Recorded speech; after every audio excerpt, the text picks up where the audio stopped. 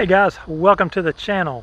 Today we're going to talk about something that I really hadn't even planned on, hadn't even heard of before, but definitely needs to be talked about and uh, I think you will enjoy this. So uh, we're going to talk about brownout resets and how they can make your life miserable and what you can do to kind of mitigate when that happens.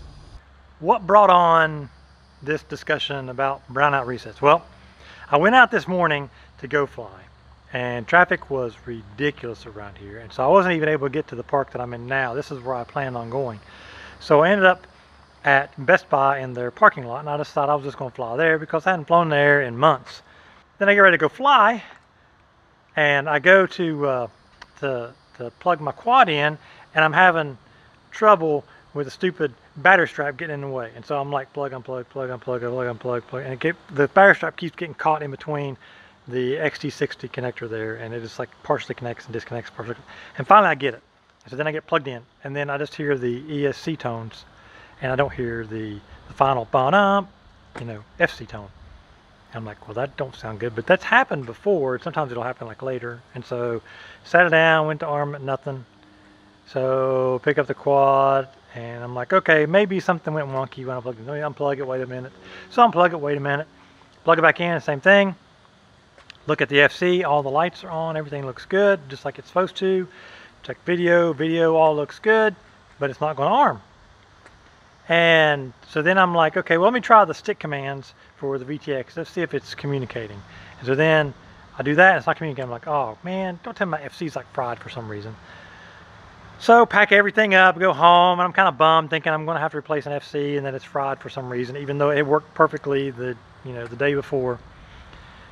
So I get home, I'm like, well, let me plug it into Betaflight and let's just see if it recognizes it. So plug it in, oh, recognized, popped up. But then there was a little strange message. And you see it sometimes when you have a new FC and Betaflight will pop up this little message at the beginning and it'll say, hey, your flight controller has some presets, you know, that you need to apply to this thing before you go do anything with it. And I'm like, what? That only happens like when it's like a fresh, freshly done. I'm like, hmm, that's kind of weird let me just kind of cancel that, ignore that, go on in. So I go in and I notice a little message on the side and it's like, you know, it's something about um, messages from the, the flight controller that it shows you on the right hand side there that I really never noticed before, but I noticed now.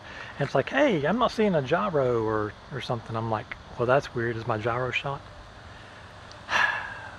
so it sounds like my FC is shot. So now I'm like, let me go look through everything here. So I start looking through the, the configuration, look at the ports, the port's only showing like one port and I've got like like three or four UARTs. Okay, definitely something weird going on here. And then I go down to configuration and look over ESC, it's like not configured. What do you mean ESC is not configured? And nothing's there. Modes, none of that. Nothing was there. Everything was like it was a fresh, plug the thing in and you never touched it. Um, go dump the uh, the configuration and it's like a fresh, it's like a fresh dump. I'm like, okay, this is really weird. So I'm like, all right, let me try something. So I load up my old configuration that I'd, I'd saved and dump it back on there and go back through the cycles. Everything seems to be fine. Well, then I had to go apply because I forgot to save the stuff after I did the HDZero stuff. So I go apply the changes for HDZero for it to have the, the UART settings and everything. Apply all that. Everything seems to be working. Check the quad out, it arms, all seems to be good. What the heck is going on?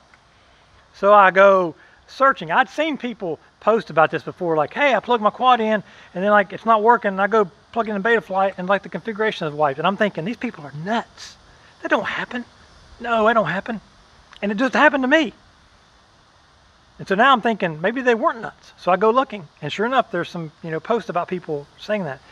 And what it turns out is Apparently, with some of these chips, there is a thing called a brownout reset. So like if the voltage is too low or something, in order to protect the components, they reset the configuration on the components back to its defaults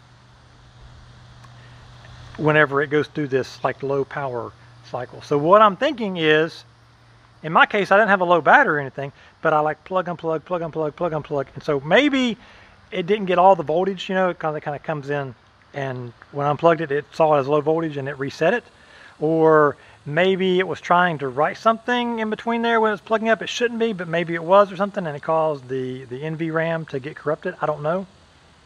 But anyways, it's a thing. It can happen to you. It happened to me. And I thought these people were nuts. So what can you do to mitigate that?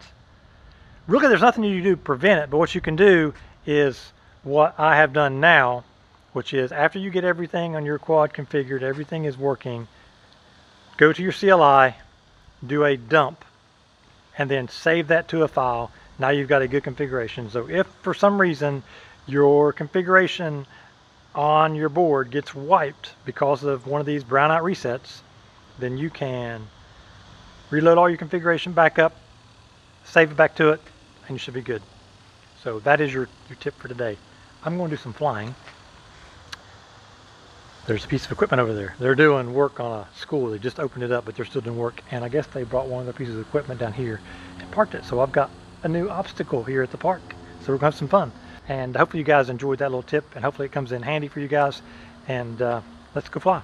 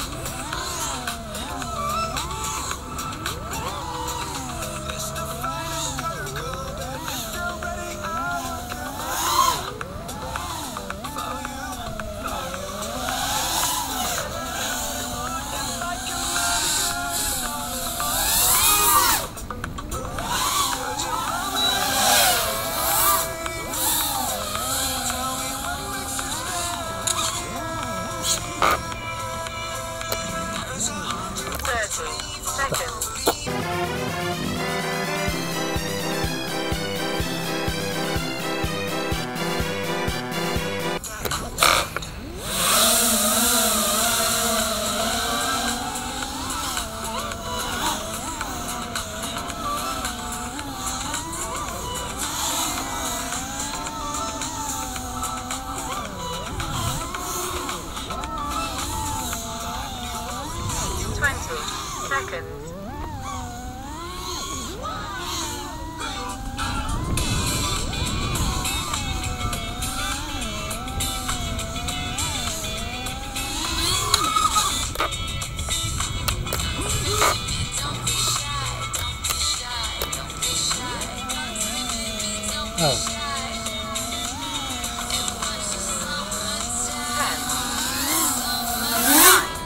Come on.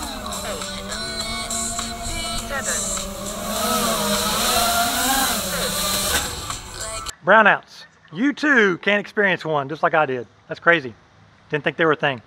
So hopefully you kind of take that advice. Make sure you save your config out. So there's your tip. Whenever you uh, you get your config, everything's good and everything's working, save that. You know, do a dump and save that dump and put it somewhere safe so that if you experience this or if you have some other problem or if you have a flight controller fail or something like that and you've got to like reset everything on there that'll save you a ton of time and you may or may not remember all the settings that you had particularly with tuning and whatnot. It can be a real pain. So save your config write that out and then you can just pop back in load back in and it'll save you time in the future anyways. So or if you want to build a second one you can just duplicate it. Boom you got a good starting point at the very least uh, if you're using all the same components. So you guys have a great day. Hopefully you learned something. I know i definitely learned something today and i will talk to you guys tomorrow. Peace or the next day or whenever the next video is